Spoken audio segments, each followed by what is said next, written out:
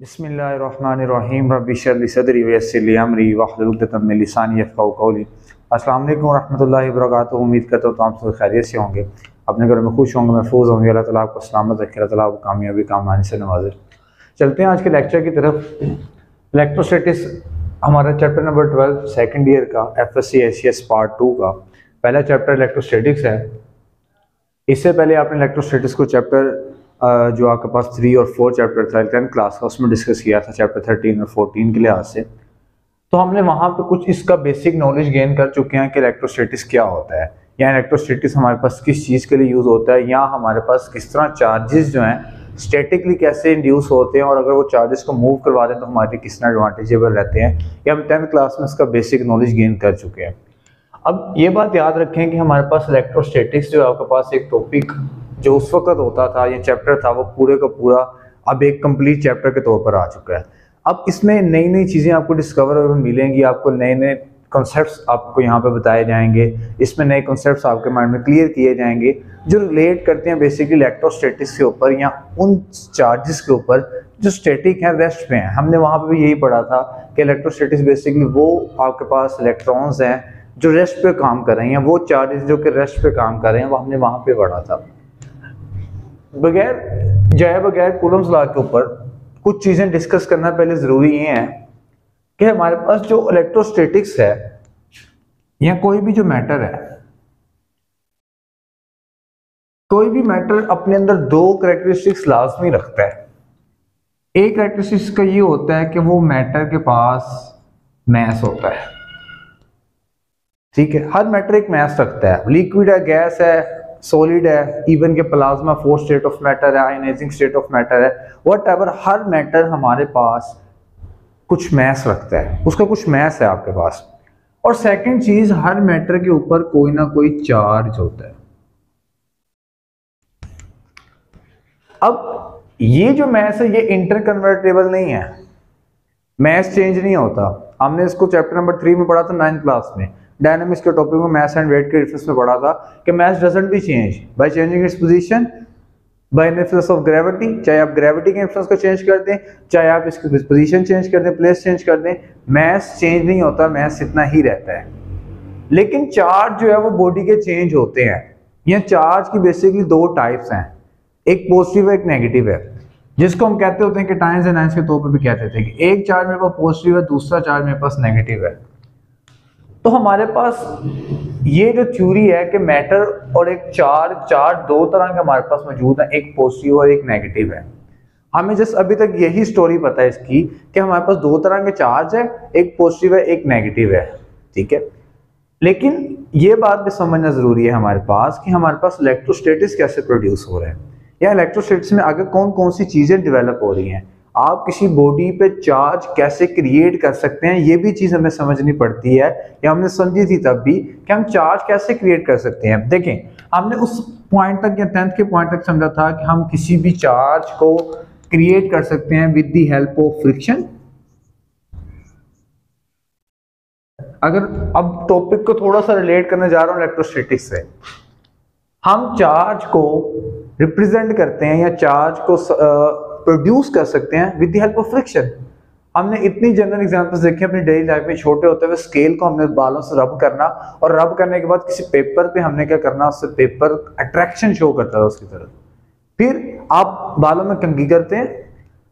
कंघी किया आपने और उसके बाद आप बालों के करीब उस कंघी को लेके जाते हैं। वो क्या होता है बेसिकली आपके पास? वो अट्रैक्शन करता है, बाल आपके खड़े होने शुरू हो जाएँगे।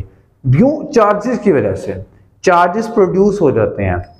तो एक काम तो होता है कि हमारे पास फ्रिक्शन की वजह से हम लोग कर रहे हो रबिंग की वजह से। रबिंग बेसिकली क्या क्रिएट करता है? चार्जिंग क्रिएट करता है। आप हाथों को हीट अप प्रोड्यूस करते हैं, वो बेसिकली फ्रिक्शन है, जो कि in form of different things हो सकती है। फ्रिक्शन आपके पास साउंड प्रोड्यूस कर सकती है फ्रिक्शन आपके पास बेसिकली हीट प्रोड्यूस कर सकती है।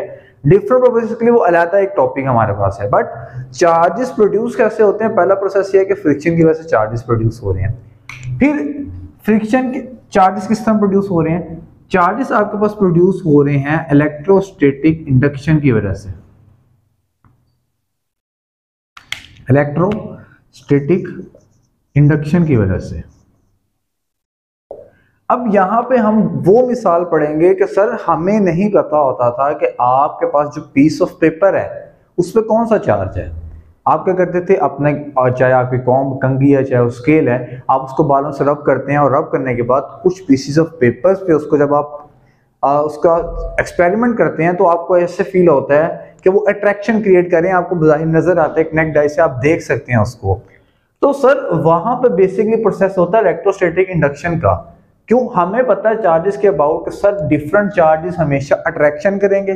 हमें ये पता है चार्जेस के अबाउट और अगर मेरे पास चार्जेस सिमिलर हैं तो वो हमेशा रिपल्शन करेंगे। ये चीज़ें हम आज से पहले डिस्कस कर चुके हैं। हमें इतनी नॉलेज थी, हमने चार्जेस ऑफ़ प्रॉपर्टीज़ को डिस्कस किया था तो हमें वहाँ पे पता चल गया था कि हमारे पास जो चार्जेस हैं बेसिकली अगर सेम चार्जेस हैं तो वो रिपल्शन कर रहे हैं, और अगर डिफरेंट चार्जेस हैं तो वो हमारे पास क्या कर रहे हैं? अट्रैक्शन कर रहे हैं। तो फ्रिक्शन से प्रोड्यूस होता है और फिर इलेक्ट्रोस्टैटिक इंडक्शन से प्रोड्यूस होता है। फिर चार्ज मेरे पास क्रिएट होता है कंडक्शन से। कंडक्शन कंडक्शन भी एक बेसिक रीजन बनती है किसी भी बॉडी के ऊपर चार्ज क्रिएट करने की, या चार्ज के प्रोड्यूस होने की। कंडक्शन एक बेसिक रीजन बनती है। तो ये तीन मेथड्स के ज़रिए आप लोग चार्जेस को प्रेजेंट कर सकते हैं प्रोड्यूस कर सकते हैं इन तीन मेथड्स के ज़रिए। क्या? फ्रिक्शन इलेक्ट्रोस्टैटिक इंडक्शन और कंडक्शन आप ये इलेक्ट्रोस्टैटिक इंडक्शन और कंडक्शन को इस सेकेंड ईयर में इंशाल्लाह मजीद डिस्कस करेंगे। अभी आपने सिर्फ़ फ्रिक्शन के अबाउट सबसे पहले पढ़ा हुआ तो ये चार्जेस एक मैटर उसका मैथ रखना, उसका चार्ज रखना मैटर डजेंट भी चेंज चार्ज किसी भी बॉडी पे कुछ भी हो सकता है। हमें खुद से बॉडी पे चार्ज प्रोड्यूस भी करना आ सकता है, हम खुद बॉडी पे चार्ज प्रोड्यूस कर भी सकते हैं। हमने ये तमाम चीज़ें टेंथ क्लास में पहले डिस्कस की थी। ये इलेक्ट्रोस्टैटिक इंडक्शन हमने वहाँ पे पढ़ी थी, जब उसने हमें दो मैसेज बताए थे ए और बी दो मैसेज बताए थे कि ये दोनों मैसेज आपके पास क्या है? आपस में चार्ज क्रिएट कर लेते हैं, ठीक है? अब चलते हैं इसी से टॉपिक को मजीद आगे बढ़ाते हुए कूलम लॉ के ऊपर, ठीक है? मजीद डिस्कशन हमारी जो है वो होती है कूलम लॉ पे, कि कूलम लॉ बेसिकली क्या होता है? हमने इसको पहले टेंथ क्लास में डिस्कस किया। मजीद डिस्कस इसको अब दोबारा करते हैं। कूलम लॉ में चार्ल्स कूलम ने ये चीज़ इन्वेंट की इस प्रोसेस को देखते हुए कि हमारे पास अगर दो masses with the law of gravitation g m1 m2 divided by D square या आर square अगर दो मैसेज के दरमियान ग्रेविटी की वजह से फोर्स ऑफ़ अट्रैक्शन हो सकती है तो इसी की बेस पे उसने एक कूलम्स लॉ को रिप्रेजेंट किया। ये उसने लॉ ऑफ़ ग्रेविटेशन न्यूटन ने बताया था chapter number five nine class में। इसी की बेस पे एक लॉ रिप्रेजेंट होता है कूलम्स लॉ। जिसमें डिस्कस किया जाता है कि अगर उन मैसेज के ऊपर चार्ज आ जाए। मैंने पहले कहा कि मैटर एक प्रॉपर्टी रखता है मैस और चार्ज की। मैस के ऊपर अगर चार्ज आ दे तो उसको रिप्रेजेंट किया कुलम्स लॉ ने कि सर, अगर आपके पास मैस के ऊपर चार्ज आ रहता है। फॉर एग्ज़ाम्पल आपके पास उसने कहा कि आपके पास दो तरह के चार्जेस हैं Q1 and Q2 they are point charges अब पॉइंट चार्ज क्या होता है? यहाँ पे मैं क्लैरिफाई करता चलूँ। हमारे पास एमडी कैट में या डिफरेंट एम में पूछा जाता है कि पॉइंट चार्ज क्या है। पॉइंट चार्ज होता है कि जिसका स्मेल एज जो मैस है as compare to other small हो। और जिन चार्जेस की इलेक्ट्रिक फ़ील्ड जो है, वह दूसरों की इलेक्ट्रिक फ़ील्ड या दूसरे चार्जेस की इलेक्ट्रिक फ़ील्ड को डिस्टॉर्ट ना करे।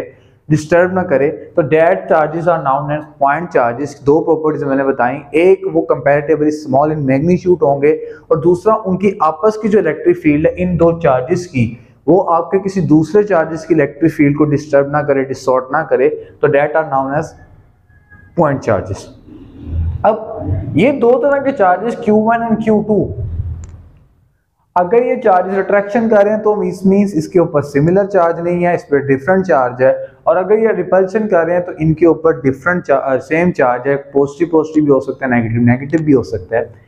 उसने इस लॉ को आगे मजीद एक्सप्लेन किया तो उसने कहा कि इन दो चार्जेस के दरमियान जो फोर्स ऑफ़ अट्रैक्शन और रिपल्शन है, इसकी मजीद कहता है कि force between two point charges q1 and q2 if the either the force is force of attraction either the force is force of repulsion this must be equal to the product of magnitude of charge 1 and charge 2 ये आपके पास equal होगी जो force of attraction और repulsion है वो दो charges के magnitude के इक्वल होगी उनके प्रोडक्ट ऑफ़ मैग्नीट्यूड के इक्वल होगी और डायरेक्टली प्रोपोर्शनल होगी इस फोर्स के, कि सर आपके पास जितना ये मैसेज ज़्यादा होंगे, जितना इस मैसेज का मैग्नीट्यूड ज़्यादा होगा, उतनी ही आपके पास फोर्स ज़्यादा होगी।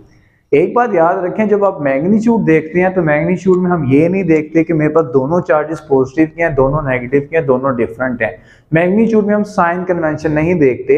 हमने मैग्नीट्यूड में जस्ट मैसेज देखने हैं। अगर वो रिपल्शन करें तो डेफिनेटली बात है आपके पास मैसेज डिफरेंट है। अगर अट्रैक्शन करें तो डेफिनेटली बात है दोनों के डिफरेंट सॉरी डिफरेंट मैसेज हैं सेम अट्रैक्शन में और डिफरेंट सेम मैसेज हैं आपके पास। सेम पोलैरिटी अगर आपके पास है तो it it must produce a repulsion तो force of attraction between two point charges which has magnitude q1 and q2 then experience ने किया कि आपके पास फर्दर कहता है कि f is further inversely proportional to 1 by R square कि इन दोनों मैसेज के दरमियान जो डिस्टेंस r है ये इनवर्सली प्रोपोर्शनल है इनकी फोर्स ऑफ़ अट्रैक्शन और रिपल्शन के। मसलन फॉर एग्जांपल ये बताने का मकसद उसका क्या है?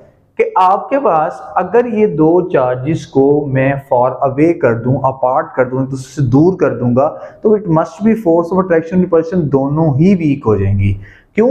इनका आपस में जो डिस्टेंस रेडियस आर है, वो कम हो जाएगा। सेम इसी तरह जैसे न्यूटन ने कहा था कि अगर दो मैसेज के दरमियान फोर्स ऑफ़ अट्रैक्शन है अगर वो अट्रैक्ट कर रहे हैं, आपस में कोलाइजन करना चाह रहे हैं, अगर आप उनको दूर ले जाएँगे तो उनकी फोर्स ऑफ़ अट्रैक्शन वीक हो जाएगी। तो सेम इसी तरह Q1 एंड Q2 आपके पास यहाँ पे R को रिप्रेजेंट किया उसने। R रिप्रेजेंट करता है कि दो चार्जेस के डिस्टेंस कितना है।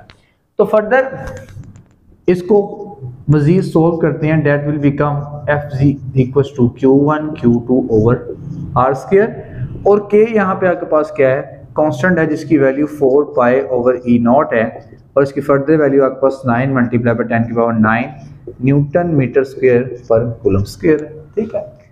ये के आपके पास कूलम कांस्टेंट कहलाता है बेसिकली के की वैल्यू अक्सर बुक में गलत लिखी होती है, किसी में यहाँ पे माइनस नाइन लिखा होगा, किसी का यूनिट गलत होगा तो इसको करेक्ट कर सकते हैं आप यहाँ से. तो K is equal to one of four pi E naught newton meter square पर कूलम स्क्वेयर और फर्दर आपके पास ये जो ई e नोट है, ये ई e नोट आपके पास रिप्रेजेंट करता है किस चीज़ को है? ई e नोट मेरे पास रिप्रेजेंट कर रहा है परमिटिविटी इन स्पेस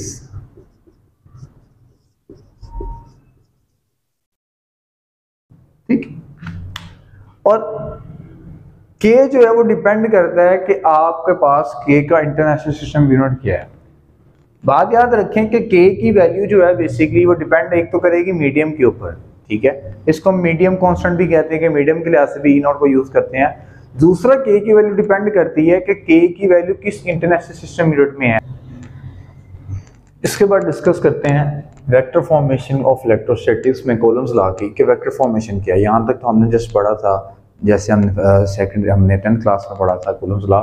हमने यहाँ तक उसको डिस्कस किया हुआ है। वेक्टर फॉर्मेशन इसकी देखते हैं कि वेक्टर फॉर्मेशन क्या है। कहते हैं सपोज़ करें लेट से कि आपके पास दो चार्जेस जो कि यही चार्जेस हैं Q1 Q2 ये दोनों चार्जेस आपके पास, अगर ये चार्ज वन इस चार्ज टू पे फोर्स लगाता है तो I have to say force is F two one अगर ये Q1 चार्ज इस Q2 चार्ज पे फोर्स लगाता है तो हम कहेंगे force is two on one मतलब कि सेकंड चार्ज पे फोर्स लग रही है, लगा कौन रहा है? फ़र्स्ट ये वाला चार्ज फोर्स लगा रहा है। और इसी तरह, आपके पास अगर Q वन और Q टू है और Q टू Q वन पे लगा रहा है तो we will say that F one two हम ये कहेंगे कि आपके पास जो फोर्स लग रही है, वो चार्ज वन पे लग रही है अप्लाई कौन कर रहा है टू ठीक है? अब वेक्टर फॉर्मेशन में हम वेक्टर को कैसे लिखते होते थे? वेक्टर को हम लिखते होते थे with vector is equal to its magnitude and its unit vector किसी भी वेक्टर को हम जब लिखते थे तो वेक्टर को लिखने का मेथड ये होता है कि उसका मैग्नीट्यूड और सारा यूनिट वेक्टर लिखा जाए, क्योंकि हम लोग यूनिट वेक्टर जब निकालते हैं, जब हम यूनिट वेक्टर निकालते हैं, हम कहते हैं कि vector divided by its magnitude will become unit vector magnitude का बेसिकली ये साइन होता है हमारे पास, ठीक है? अब यहाँ पे हमने मैग्नीट्यूड के लिए सिंपल एफ़ को शो किया। अब अगर हम इन वेक्टर्स के लिए या इसके लिए वेक्टर फॉर्मेशन देखें तो हम अगर इस फोर्स के लिए लिखें एफ़ टू वन जो एफ़ टू वन फोर्स हमारे पास है एफ़ टू वन फोर्स हमारे पास इक्वल किसकी होगी? सेम ये तमाम फोर्सेस ये जो वैल्यू लिखी हुई है K Q one Q two over R square ठीक है? और इसी तरह के की अगर वैल्यू यहाँ पुट कर दो मतलब फोर पाई नॉट विद इस यूनिट वेक्टर ये आ गया मैग्नीट्यूड यूनिट वेक्टर क्या आएगा इसका? आर टू वन इन दोनों के रेडियस कुछ थे ना? इसका भी रेडियस था, इसका भी इसका आर वन इसका आर टू है। तो यूनिट वेक्टर आपके पास आ गया आर टू वन इसके मैग्नीट्यूड के यूनिट वेक्टर के लिहाज और इस तरह एफ़ वन टू आपके पास आ जाएगा सेम एज के Q one Q two over R square और ये आ जाएगा आर मैग्नीट्यूड वन टू अब ये इस पे एक्शन की फोर्स अप्लाई कर रहा है, ये इस पे रिएक्शन की फोर्स अप्लाई कर रहा है। न्यूटन थर्ड लॉ यहाँ पे होल्ड हो गया कि एक्शन का रिएक्शन हो रहा है बट इन ऑपोजिट डायरेक्शन में हो रहा है। तो ये वाला जो वेक्टर है that contains a sign of negative इसका जो साइन है क्या हो जाएगा? नेगेटिव साइन हो जाएगा आपके पास इसका। ठीक है? ये हमारे पास वैक्टर फॉर्मेशन है कूलम्स लॉ के चार्जेस के अबाउट की। इसके बाद मजीद डिस्कशन करते हैं इफेक्ट्स ऑफ़ मीडियम के अबाउट आपके पास मीडियम का क्या इफ़ेक्ट पड़ेगा? इसके ऊपर। सपोज़ करते हैं हमारे पास यही दो चार्जेस मौजूद हैं। इनके दरमियान मीडियम डिपेंड करेगा कि इनकी फोर्स कितनी है। अगर तो इनके दरमियान जो मीडियम है, वो डिपेंड ही करता है कि अगर इनके दरमियान एयर है तो जो फोर्स है, वो as compared to other mediums for example अगर कोई डायलैक्ट्रिक है इंसुलेटर है वो ज़्यादा इफेक्टेबल रहेगी एज कंपेयर टू अगर मीडियम एयर है यहाँ पे आपके पास, ठीक है? हमने इसको कहा था कि ये जो ई नोट है, ये परमिटिविटी इन स्पेस या फ्री स्पेस का कांस्टेंट परमिटिविटी होती है आपके पास, ठीक है? अब किसी मीडियम का क्या इफ़ेक्ट पड़ेगा, उसके लिए हमारे पास एक जनरल इक्वेशन होती है। हम वो लिखते हैं F is equals to F R over sorry F over E R E e R आपके पास होता है permittivity relative permittivity constant relative permittivity का मतलब कि आपके पास मीडियम डिपेंडेंस बता रहा है यहाँ पे, ठीक है? और ई e आर को फर्दर हम एक्सप्लेन करते हैं कि ई e आर हमारे पास आ जाता है मीडियम के दरमियान और मीडियम के साथ। रेशो बेसिकली आती है दो चीज़ों की, ये ई आर जो आपके पास है। अब आपके पास मीडियम का इफ़ेक्ट यह होगा कि अगर इसके दरमियान कोई इंसुलेटर आ जाता है इसके दरमियान कोई आपके पास डायलैक्ट्रिक आ जाता है वुड आ जाती है, कोई भी चीज़ आ जाती है, वो फैक्टर डिपेंड करेगा इसके ऊपर, ठीक है? अगर मैं कहूँ इस फैक्टर के अकॉर्डिंग अगर इस फॉर्मूले को अब मैं लिखूँ फर्दर मजीद सोल्व करके तो एफ़ मेरे पास होता है F one over four pi E naught E R Q one Q two over R square ये मेरे पास आ जाएगा फोर्स डिपेंडेंस बेसिक ये जो ई e आर है, ये बेसिकली दो परमिटिविटीज का कांस्टेंट है।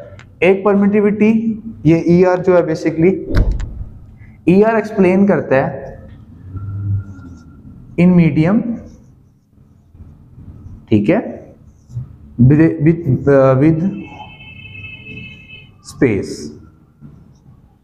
ई आर जो है, ये रेशियो है कि आपके पास मीडियम में क्या फोर्स अप्लाई हो रही है और स्पेस में क्या फोर्स अप्लाई हो रही है? स्पेस का मतलब ये है कि जब इनके दरमियान को मीडियम डायलैक्ट्रिक नहीं रखा गया एयर है आपके पास जस्ट ठीक है? और ये आपके पास वो है कि जब कोई मीडियम आप इसमें पुट कर दिया है तो ये जो रिलेटिव परमिटिविटी आर है, ये रेशो है between relative permittivity in medium और इन फ्री स्पेस वाले दो के दरमियान जो रेशो है, ठीक है?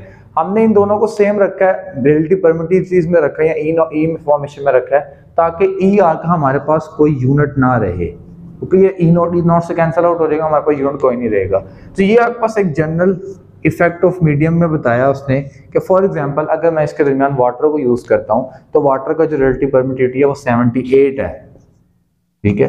इट मीन्स कि आपके पास अगर इन दोनों के दरमियान एक मीडियम वाटर वेव्स रख दी जाए वाटर अप्लाई कर दिया जाए इनके दरमियान तो फोर्स ऑफ़ अट्रैक्शन या रिपल्शन जो चार्जेस पे एक्ट हो रही थी, उस पर 78 टाइम्स रिडक्शन आ जाएगा रिड्यूस हो जाएगी फर्दर आपके पास वो, ठीक है? तो ये आपके पास लेक्चर था कोलम्स ला का। उम्मीद है कि आपको समझ आई होगी। अगर ये समझ आई है तो इसको लाइक करें शेयर करें सब्सक्राइब करें। मिलते हैं नेक्स्ट वीडियो में, तब तक के लिए अपना ख्याल रखिएगा। अल्लाह ने